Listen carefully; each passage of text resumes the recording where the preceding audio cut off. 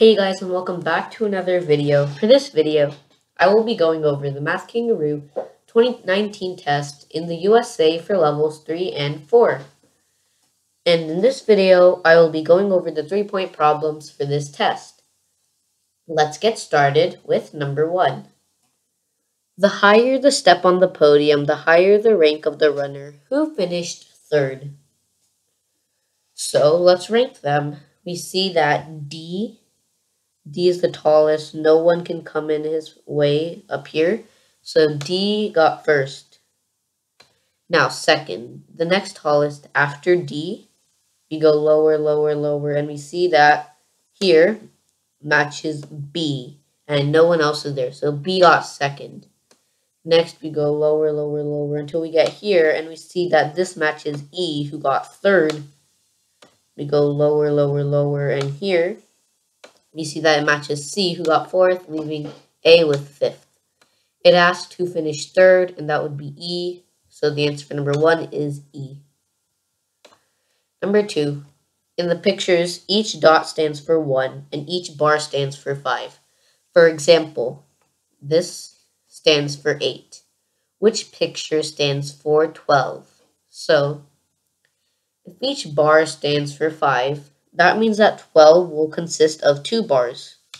5 plus 5 equaling 10. So the value made of the bars will be equal to 10. So it can either be B or C because they're the only ones with two bars. Now we subtract 12 minus 10 to get that. The figure will also have two dots. B has one dot, C has two, so the answer for number 2 will be C. Number 3. Yesterday was Sunday. What, what day is tomorrow? So, let's put the days of the week in order. So, Sunday, Monday, Tuesday, Wednesday, Thursday, Friday, and Saturday. So yesterday was Sunday. So that means today is Monday, meaning tomorrow is Tuesday. So the answer for number three is A.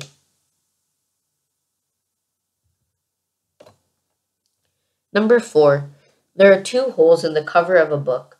When the book is open, it looks like this. Which pictures does Olaf see through the holes when he closes the book?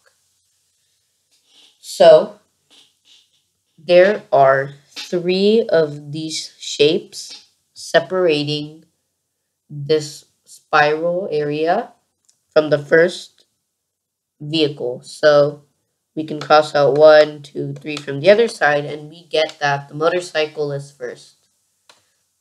Now, there are two of these figures separating the motorcycle from the two next vehicles. So, cross out another two, and we get the Jeep and the tractor. So the answer for number four would be D because it has the motorcycle, the Jeep, then tractor. Number five. Karina cuts out one piece like this from the sheet shown to the right. Which piece can she get? So you you start with the first one, A. So we look for stars and we get one star here, one star here. The star is tilted, so we can't even use it. But we can see that the figures form like this, so A can be made. And eventually, after you go through all of the choices, you'll find out that none of them can also be made, and only A can be made. Number 6. Three people walked across a field of snow wearing muddy shoes. In which order do they do this? So, we see the little one at the beginning crawling over the gray shoes. So right now we know that it's going to be gray before little. And I'm going to call this one spotted, so S. Now here we see gray, the this one going over the little one. So it's either going to be here or here. So it's going to be behind little And so that means it's also behind gray. And yes, we can see it's crossing over gray also. So it's gray, little spotted. A is gray, little spotted. Number seven. Pia is making shapes using the uh, connected sticks shown in the picture. Which of the following shapes uses more sticks than Pia has? So let's count how many sticks are in number in the figure over here. So one, two, three, four, five, six, seven, eight, nine, ten. So there are ten. So all of them except one will have ten. So all of them except one will have ten sticks. A has one, two, three, four, five, six, seven, eight, nine, ten.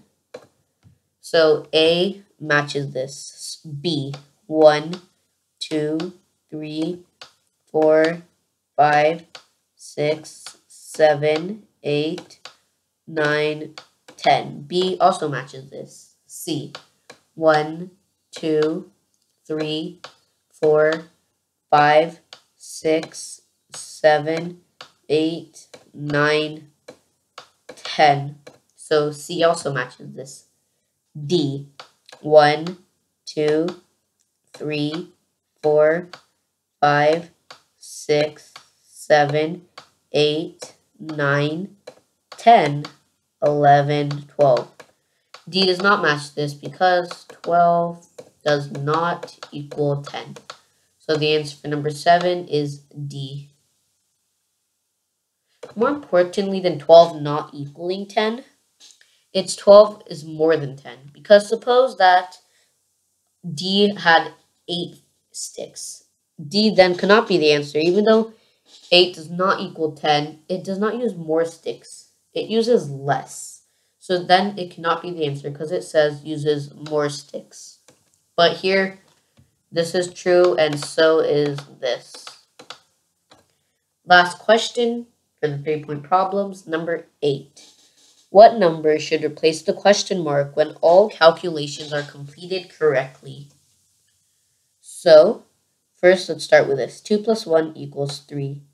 0 plus 3 equals 3. 1 plus blank equals 9. Same thing as 9 minus 1 equals what? So that would be 8. So 1 plus 8 equals 9.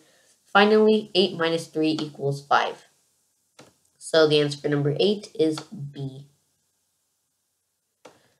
So that's all of the three-point problems. To actually make this test like appear so I could put it on my channel, I had to go through a lot of steps because I took this test when I was in fourth grade, and so I didn't actually have it on the web, but I had a paper copy. So after scanning it in, erasing all of my work eh, so I can make it fresh, I was able to present it in this video. So please subscribe, like, and hit the notification button so my hard work doesn't go to waste and you perform well on the test. And I can post more of these videos, and in the next one, I will be going over the four-point problems. So make sure you come for the next video, which will be that. Bye!